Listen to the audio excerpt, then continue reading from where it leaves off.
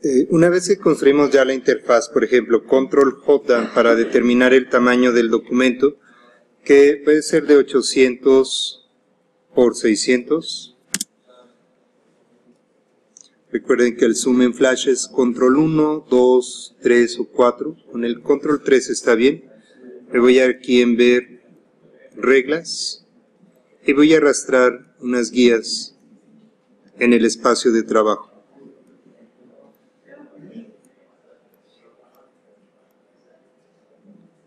Estas guías puedo bloquearlas para no moverlas cuando ya están colocadas en el espacio adecuado y puedo generar zonas de, por ejemplo, botones. Hay una parte aquí donde se encuentran eh, ya algunos botones prediseñados, los vamos a ver más adelante. Ahorita simplemente estas figuras geométricas van a representar los botones. Presiono F8 o si no, si tienen problemas con el F8 pueden dar botón derecho, convertir en símbolo y vamos a poner aquí que sea un botón. Ponemos aceptar y si presionamos Alt esto sirve para copiar. Si presiono Shift, se va en línea recta. Voy a poner cuatro botones. Para alinear los botones puedo seleccionarlos todos. Puedo presionar Control A, Control K y aquí en alinear puedo decidir si quiero alinearlos. En este caso no tiene problema si está al centro, izquierda o derecha porque miden lo mismo. Lo que me gustaría es que el espacio que tienen estos es el mismo. Entonces, aquí creo que ya lo ajustó, pero cuando seleccione algo no, eh, no le quité la, la parte de la orilla. Los vuelvo a seleccionar, control A, control K, y ya quedan. Eh, puedo seleccionar aquí como la parte visible de mi interfaz puedo determinar que es este espacio. Le doy doble clic, presiono F6 y aquí puedo simplemente cambiar de color. Y luego eh, también cuando sea que ponga el cursor encima, puede ocurrir algo aquí. Voy a simular que el contenido es este cuadro que podría tener texto o imágenes. Doy doble clic. Ahora tomo el siguiente botón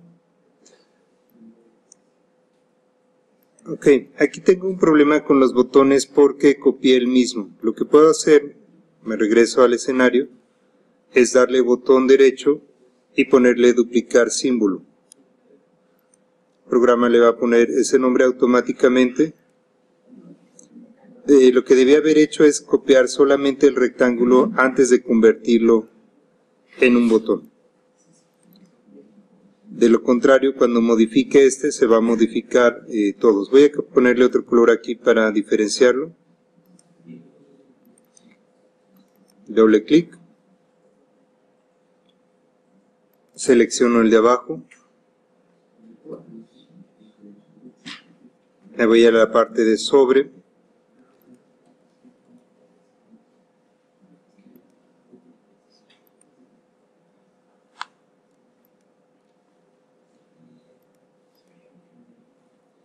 Control E es otra manera de salirnos también.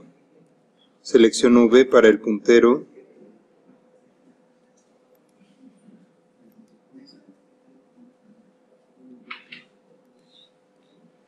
Y aquí hay otra corrección que tengo que hacer, es justamente,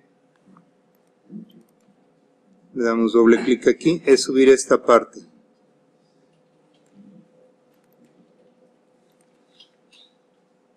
Bien, vamos a ver si funciona.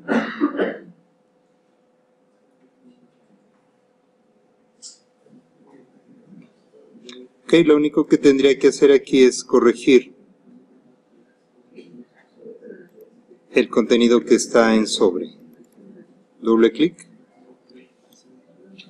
y lo subimos. control E es más rápido. Ahorita estoy usando la versión portable de Flash, por eso está eh, consumiendo recursos y está un poco lento. Y ya control enter.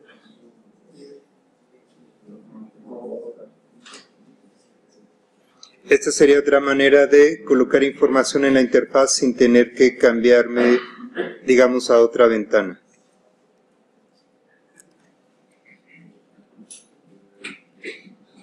Voy a abrir un documento nuevo y vamos a, eh, puede ser que yo requiera quedarme en este espacio sin que el usuario esté pasando el cursor. Esto me podría servir para hacer una, eh, como un muestrario de imágenes, sería algo un poco más rápido.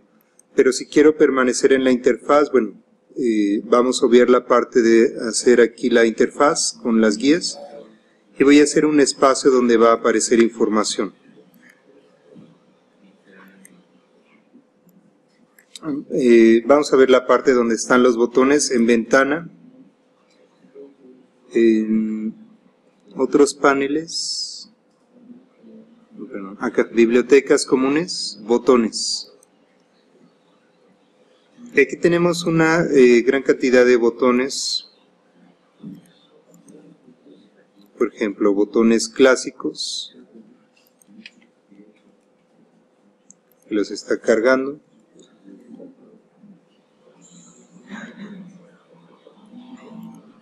Que eran esos como de las maquinitas. Y hay de varios colores.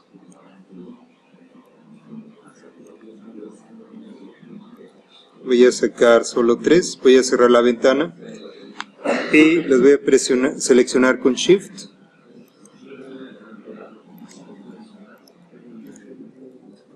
Control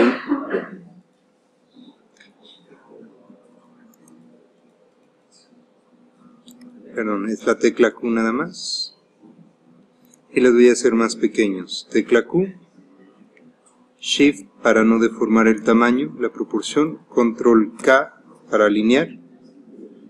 Le vamos a poner que se alineen y que tengan el mismo espacio. voy a colocar por aquí. y a esto lo voy a convertir, botón derecho, convertir en símbolo, o F8, lo voy a convertir en un clip de película.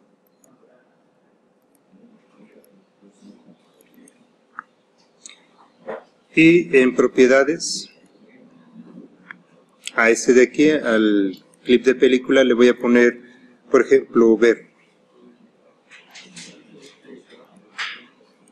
Para que en el código, cuando le dé clic a esos botones, voy a hacer referencia, le di doble clic, a fotogramas que están aquí. Voy a presionar F6 y también simplemente voy a ir cambiando los colores. Le vamos a poner azul luego otra vez F6 el siguiente corresponde al verde F6 y este al rojo.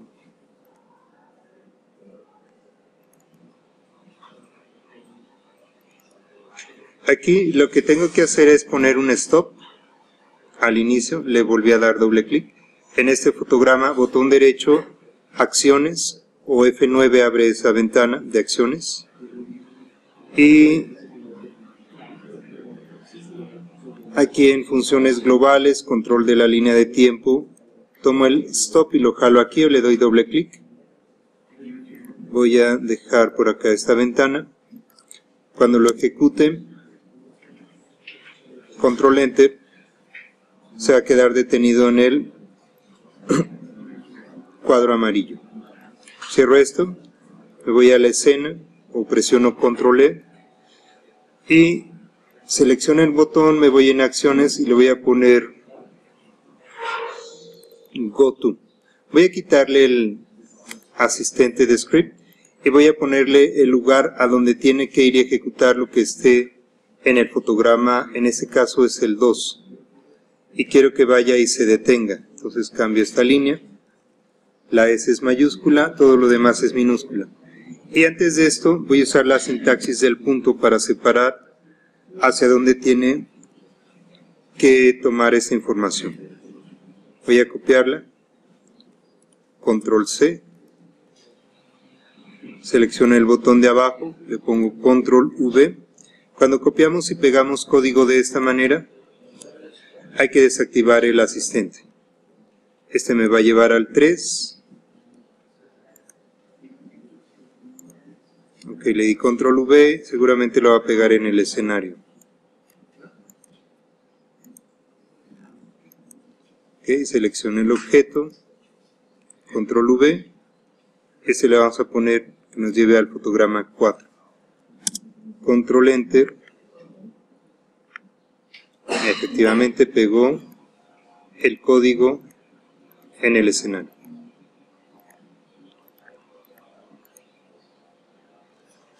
Y lo voy a borrar.